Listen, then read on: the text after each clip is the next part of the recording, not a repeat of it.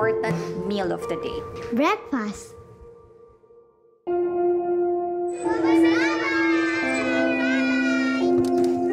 Kakasundo ko lang dito kay Minmin. O, pauwi na kami. Uwi ka ng maaga, ha? Ay, ay po, tita. Sino siya? An old associate from Black Rose. The mission is simple. You find them, you bring them to me.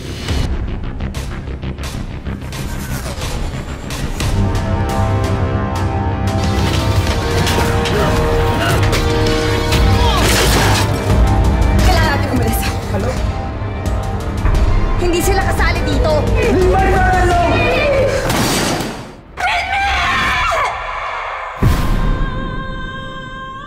Papatayin ko siya.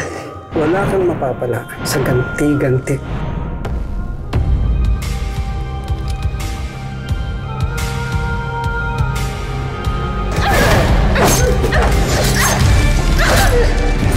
Person, you look hot. Sabihin mo na lang sa akin kung nasan siya. We got bigger problems on our hands. Lily's still alive!